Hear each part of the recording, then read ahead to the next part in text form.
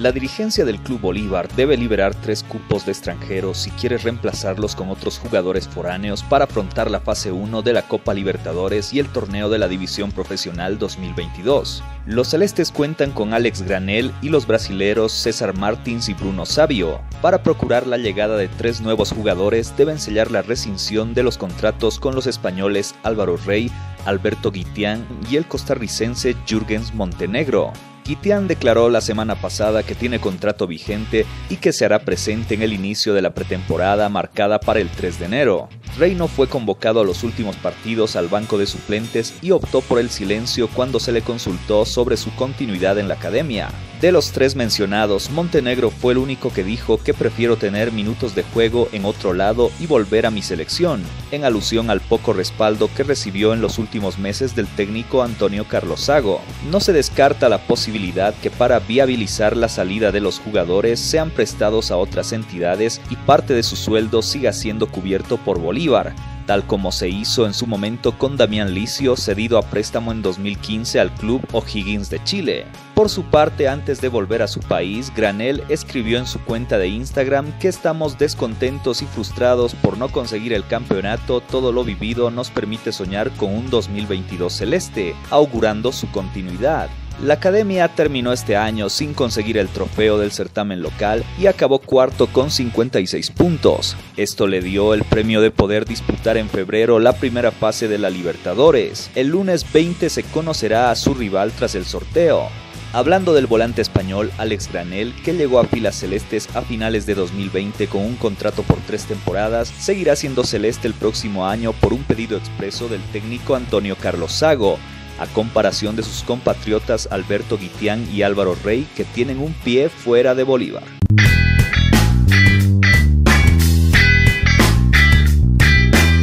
El agente que representa al panameño Rolando Blackburn confirmó que se espera una propuesta de Die Strongest para que el jugador que concluyó su contrato continúe en el club con el que está identificado. Carlos González, su representante, explicó que tenemos que evaluar las condiciones ante la consulta de que si el futbolista seguirá vistiendo la camiseta oro y negro en la siguiente temporada. El pasado viernes hablamos con el dirigente Cristian Alcoreza. Nos dijo que querían que Rolando continúe en el club, pero lo que nos parece extraño es que aún no tenemos una propuesta, insistió. Confirmó también que tienen otras ofertas de otros clubes para contar con los servicios del Ariete, algunos en el país en Sudamérica y el fútbol árabe, pero primero quieren analizar la propuesta del equipo paseño. No firmamos nada con ningún club. Blackburn quiere quedarse, tiene un respeto, compromiso y una afinidad con el club de Achumani, indicó al ser consultado sobre el interés de Always Ready. Hace tiempo el jugador había señalado que la prioridad la tenía el Aurinegro, institución para la que jugó cuatro años.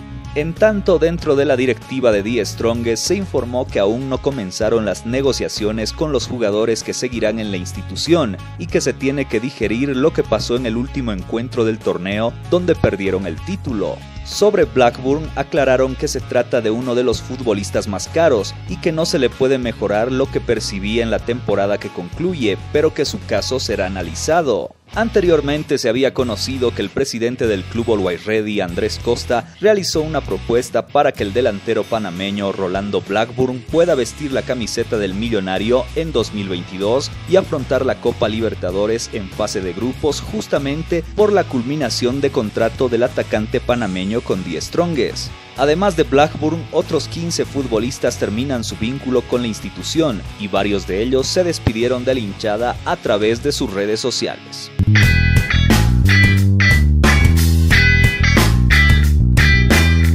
El plantel de Always Ready no descansa en la búsqueda de jugadores para reforzar el equipo en la siguiente temporada.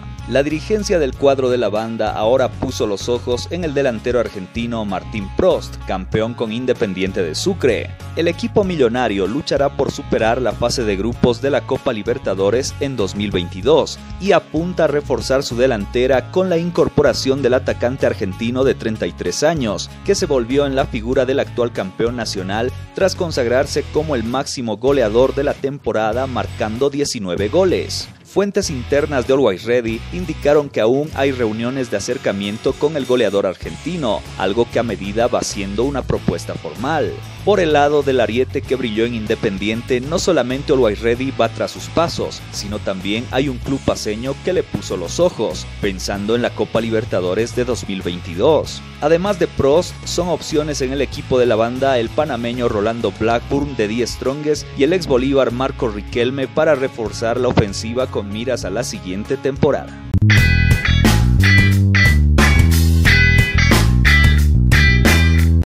Royal Party anunció este miércoles a su primer fichaje para la siguiente temporada. El volante Pedro Azogue firmó contrato y a partir de la primera semana de enero se pondrá las órdenes del entrenador español Miguel Portugal en el inmobiliario. Azogue de 27 años, formado en la Academia Tawichi, jugó este año en Palma Flor de Cochabamba. Su carrera deportiva la inició en Oriente Petrolero, al que defendió entre 2012 y 2017.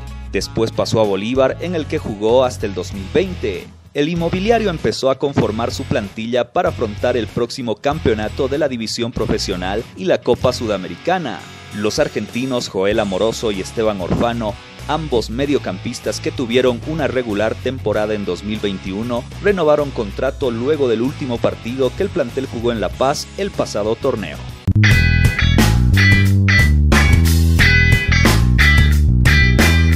Los directivos de Guavirá llegaron a un acuerdo con el entrenador Víctor Hugo Tucho Antelo para renovar contrato de cara a la próxima temporada.